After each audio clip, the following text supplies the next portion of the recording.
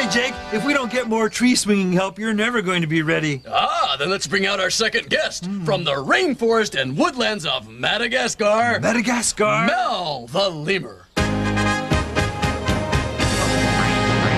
Whoa! Oh, what a uh, hopper! Whoa, it certainly is strange walking on the ground like this. The trees are so much nicer. Well, welcome to the show, Mel. Yeah, hiya, Mel. Hey, do you think you can get Jake ready for the tree swinging competition? Oh, well, only if he's going to be the tree.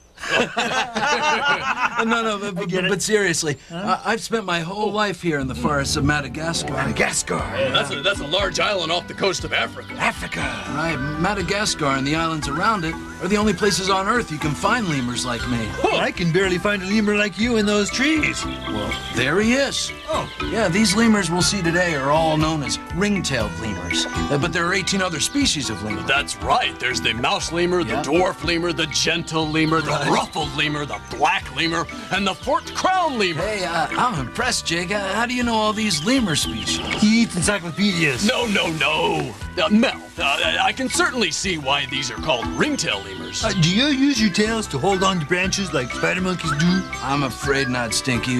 With all that fur, our, our tails can't get much of a grip. Then why do you even have tails? Oh, tails are very important. They help us keep our balance when we're leaping around in the trees. Without our tails, we'd be very clumsy up there. Oh, just like you, Jake. Thanks, Stinky. do lemurs live in troops like spider monkeys do? That's right, Jake. Uh, here's my troop. That's Lem, Millie, Molly, Manny Manimo, and Jack. And here they are coming down the tree. Uh, But I thought you spent all your time up in the trees. Almost all the time, Stinky. But there are certain things you can't do in the trees. Like this. What are they doing? That's called a threat display. And it's something two male lemurs do in order to attract a female mate.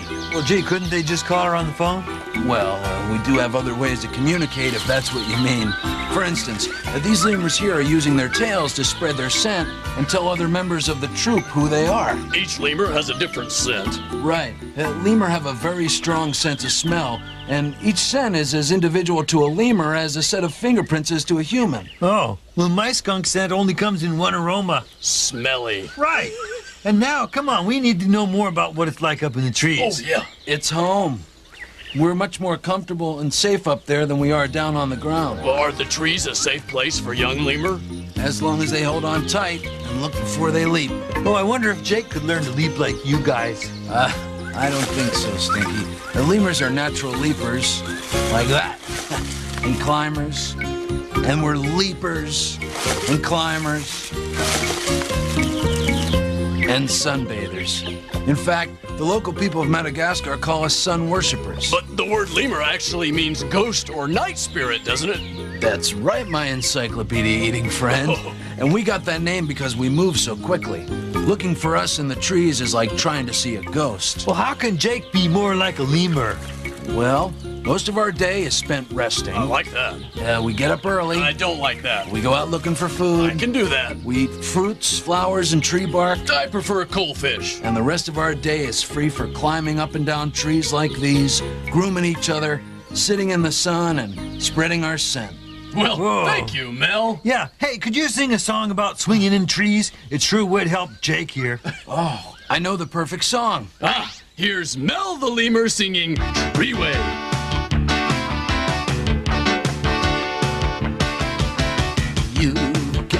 Freeway, but I've got my tree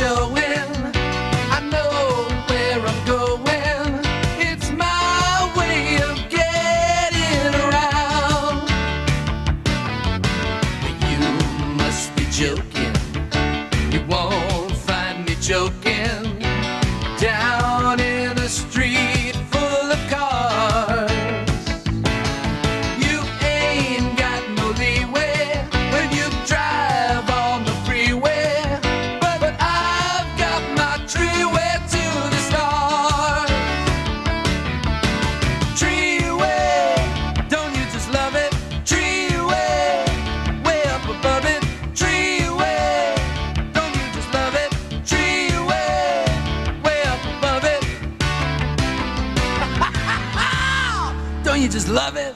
Whoa, swinging song! Thanks, Mel. And now let's take a look at a really big animal that swings from trees. Bigger than a polar bear? It's big, not humongous. And now it's time for. Animal Awards. Mm-hmm. Today we'll find out which of these is the largest monkey. Hey, you know, I once made a big monkey out of myself in an office party. I am telling no, you. no, I Armstrong, later. Gotcha. Which of these animals is the largest monkey? Is it the red howler monkey Ooh, or the mandrill. or the black and white colobus monkey? And the winner is. The mandrill, which can weigh as much as 116 pounds, making it the largest of all monkeys. Hey, I bet you he's an office party animal. The mandrill, winner of today's Animal Award. Yeah. Oh, you see, Jake? Mandrills are big and they can swing in trees. Well, I weigh a lot more than a mandrill, Stinky. Maybe you're eating too many encyclopedias. Well, here's a book I'm not going to eat because it's today's story. Once upon a time, there was a troop of spider monkeys, and the spider monkeys all heard that Stanley Spider Monkey was eating some very, very ripe fruit. I don't believe it, said Stanley's sister Sybil. Doesn't Stanley know that ripe fruit can make you sick? How you doing down there, Stanley? asked Seymour. Be careful not to eat too much, warned Celia. I just don't get it, said Stanley's Uncle Sinbad. Why would he want to eat that stuff? Well, I'm not going to stay around here and watch him eat himself, silly. Mm-mm. No, sir. No, sirree. Stanley, I'm out of here. And Sinbad swung away. When Stanley finished the fruit, he did feel a little odd. But he was soon back to his old self and lived happily ever after. The end. oh, great story, Jake. Oh, uh, Stinky, by the way, what's your event in the animal competition? Oh, the Stinkathlon. Uh, my specialty is downwind skiing. You don't want to miss it. I don't think I have a choice. Yeah, I think I'll enter that hold your wings in the air competition. A little practice. Oh, oh, oh, hello, Armstrong. It's habitat time. Yeah. And it's a perfect time for you to help me train for the bearathon. Oh, uh, do I have to? One, two, one, two, one, two, one, two. Ooh, where are we? The island of Madagascar. It's in the Indian Ocean. Oh, hey, uh, what's in that tree there? It's a lemur. Only found here in Madagascar. All right, well, keep running circles. You're doing great. Oh, the rainforest here has lots of animals that don't live anywhere else. Uh-huh. That's a Madagascan kestrel sitting on top of a baobab tree. A baobab tree. Baobab tree. Yeah. Well, if I'm not mistaken, that there is a black-crested drongo, one of the world's better-looking birds. Oh, yeah. Listen, and I'll tell it. I'll tell it. Yeah, chameleon. Yeah, I know. Thank you. And he seems to be enjoying his meal. I can tell you that. Yeah. And, uh, oh. Oh, and so is the, the... Don't, don't, don't talk. Run. It's a black lemur having a fruit salad. Yeah. Lots of fruit here in the rainforest. Uh-huh. Ripe at different times.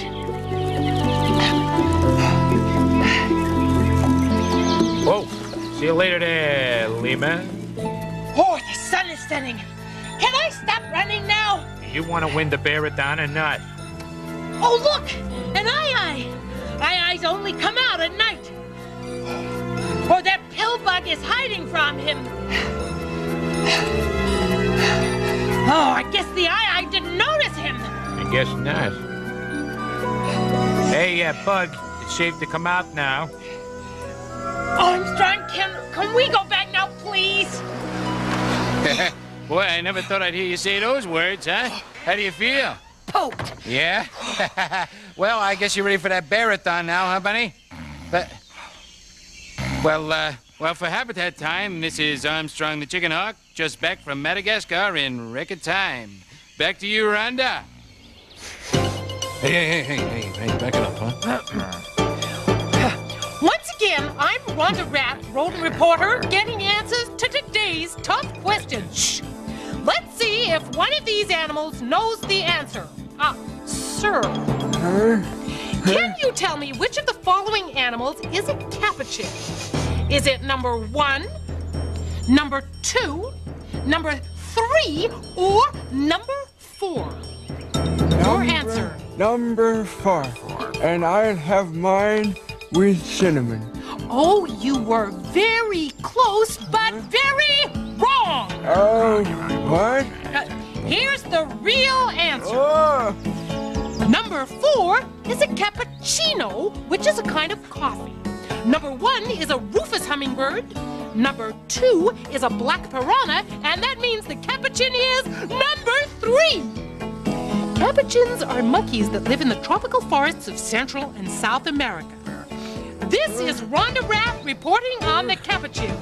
Now you, Stinky and Jake. Get him out of here. All right, come on. I, I told Thanks, Rhonda. Well, uh, wonder where Stinky went.